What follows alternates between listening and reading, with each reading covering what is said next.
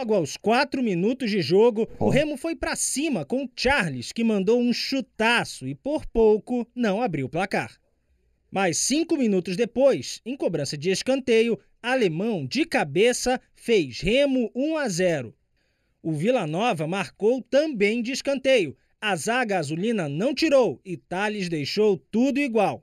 A virada dos goianos veio aos 36 minutos. William Formiga cruzou rasteiro, Fredson desviou e Thales, de primeira, marcou. Vila Nova 2 a 1. Nos acréscimos do primeiro tempo, o Tigre marcou o terceiro em bela cobrança de falta de Alain Mineiro, sem chances para o goleiro Vinícius. 3 a 1. No segundo tempo, Pablo viu Renan, que mandou por cobertura no gol azulino. Vila Nova 4 a 1. O Remo até que tentou o segundo com Lucas Siqueira, que cruzou na área. A bola passou por Heron e Eduardo Ramos, mas nenhum finalizou. E aos 25 do segundo tempo, Pablo chutou de fora da área e Enan desviou para o gol.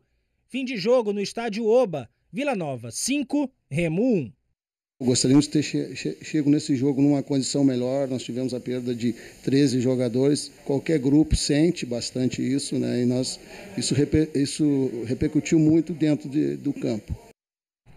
Remo e Vila Nova voltam a se enfrentar no Mangueirão sábado, agora às 5 da tarde. Vila Nova pode perder até por três gols de diferença, que se torna o campeão da Série C. A gente volta a conversar com o Ivo sobre essa goleada né, inesperada, Ivo.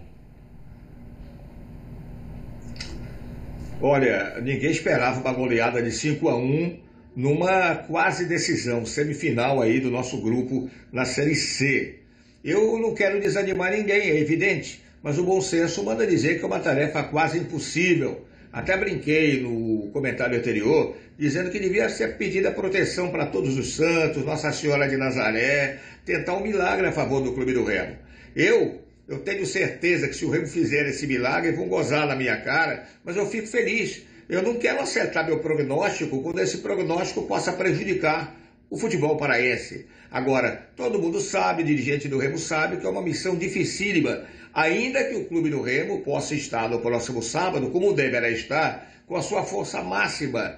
Mesmo assim, há limitações e dificuldades para obter uma recuperação tão drástica. Mas o tempo é o senhor da razão. Vamos ver o que o Clube do Remo consegue fazer no próximo sábado, talvez até surpreendendo a gente de maneira totalmente inesperada, Márcio.